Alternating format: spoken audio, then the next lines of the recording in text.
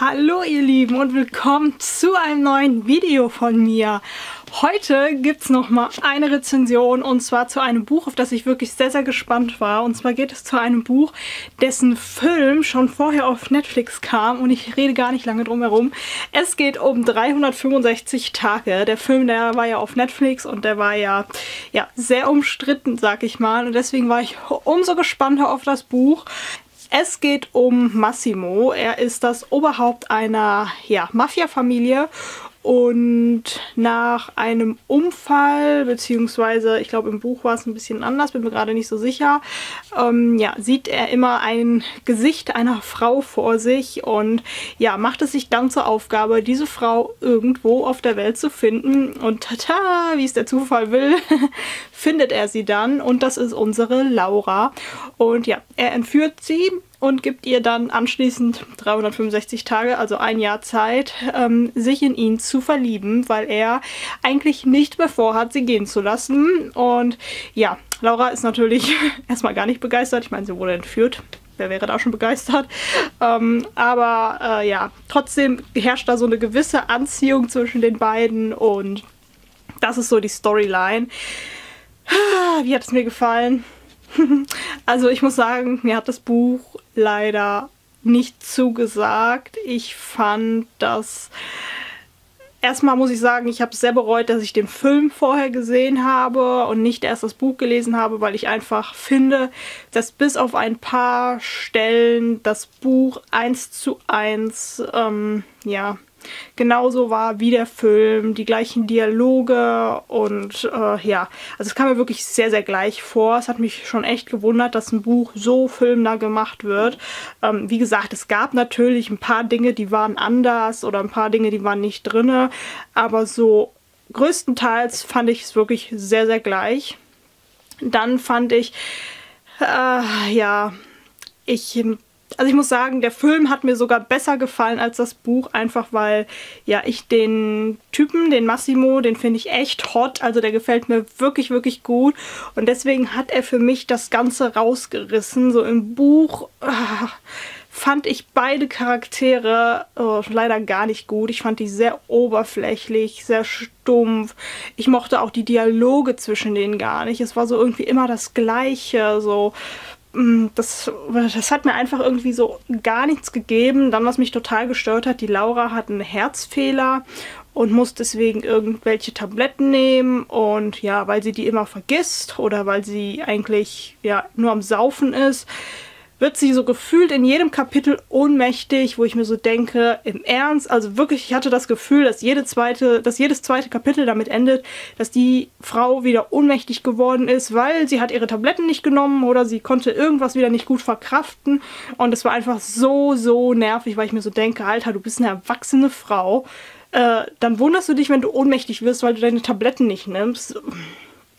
Ja, also keine Ahnung, auf jeden Fall. Das, das war schon so eine Sache, das hat mich richtig genervt, weil sie wirklich so oft ohnmächtig geworden ist. Ich habe irgendwann aufgehört zu zählen. Dann, wie gesagt, die Dialoge zwischen den beiden, die kamen mir so, die waren so oberflächlich, die waren für mich so, ja, so gestellt irgendwie, so als hätte man da so einen sexy Dialog zustande bringen wollen, aber hui.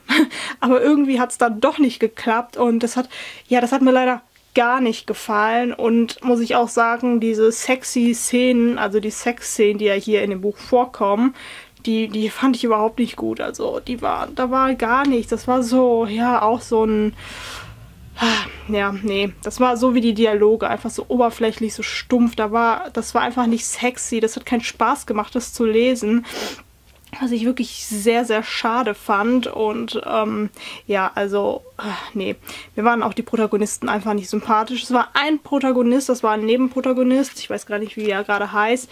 Den fand ich richtig sympathisch, den finde ich, hat man im Film nicht so wahrgenommen. Mm, aber ja, leider, leider, leider, leider hat es mir nicht gefallen. Also ich weiß auch nicht, ob es mir besser gefallen hätte, wenn ich den Film vorher nicht gesehen hätte. Aber es ändert halt nichts daran, dass mir einfach die Dialoge gefehlt haben. So, ja, das hatte für mich keine Tiefe. Man man hat nicht sehr viel mehr über die Charaktere erfahren. Also der Film war ja schon auch sehr oberflächlich, dass man nicht so viel erfahren hat, nicht so viel über die Beweggründe erfahren hat von Massimo oder auch von Laura hat man kaum was erfahren. Und ich finde halt so es im Buch auch. Es waren vielleicht so ein, zwei Zusatzinformationen, die man mehr hat als im Buch, äh, als im Film aber ähm, leider nicht sehr viel mehr, wo ich jetzt sage, wow, cool, das macht's jetzt, das haut jetzt richtig raus. Ähm, ja, tat mir sehr, sehr leid. Was ich richtig gut fand, war das Ende. Nein, nicht weil es vorbei war, sondern, oh Gott, wie habe ich das jetzt gesagt? Also ich fand das Ende nicht gut, weil es dann endlich vorbei war, sondern das Ende war anders als im Buch. Und ähm, ja, das hat mir eigentlich ganz gut gefallen, äh, anders als im Film meine ich. Es hat mir ganz gut gefallen. Ich muss sagen, das Ende im Film war natürlich ein richtig gemeines Ende. Das im Buch war auch gemein, aber nicht so ätzend wie das im Film. Und ich mochte das Ende wirklich äh, gerne. Ich bin auch gespannt, was in Band 2 passiert und wie es mit den beiden weitergeht, aber äh, leider, nee, leider hat mir das so, nee, es hat mir leider nicht gefallen, muss ich sagen. Also, so leid es mir tut, ich habe mich wirklich sehr auf das Buch gefreut, aber nee, ich habe das Buch auch übrigens als Rezensionsexemplar bekommen. Ich weiß nicht, ob ich das am Anfang gesagt habe. Ich vergesse das immer zu sagen. Ich bin mir nicht sicher, ob ich es gesagt habe. Auf jeden Fall war es ein Rezensionsexemplar. Also danke an dieser Stelle nochmal dafür. Auch wenn es mir leider nicht gefallen hat. Aber nichtsdestotrotz bin ich sehr gespannt auf äh, Band 2. Ich weiß noch nicht, ob ich ihn lesen werde oder ob ich vielleicht mal gucken, wenn ein Hörbuch kommt, es hören werde oder einfach auf den Film warte. Ich bin mir noch nicht sicher, ich bin noch ein bisschen zwiegespalten, weil die beiden mich hier wirklich nicht überzeugt haben. Und das soll es auch schon gewesen sein von meiner Rezension. Ich hoffe, das Video hat euch gefallen, auch wenn es keine positive Rezension war. Aber gut, das soll es auch mal geben. Das ist ja meine ehrliche Meinung. Und ja, es war leider nicht so meins. Und ja, ansonsten würde ich sagen, schreibt mir doch mal gerne in die Kommentare, ob ihr den Film gesehen habt und wie er euch gefallen hat. Und ansonsten sehen wir uns im nächsten Video wieder. Tschüss!